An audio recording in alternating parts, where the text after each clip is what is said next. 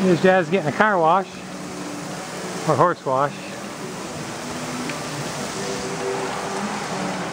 She likes it. Aren't you, girl, huh? You like it, huh? Yeah.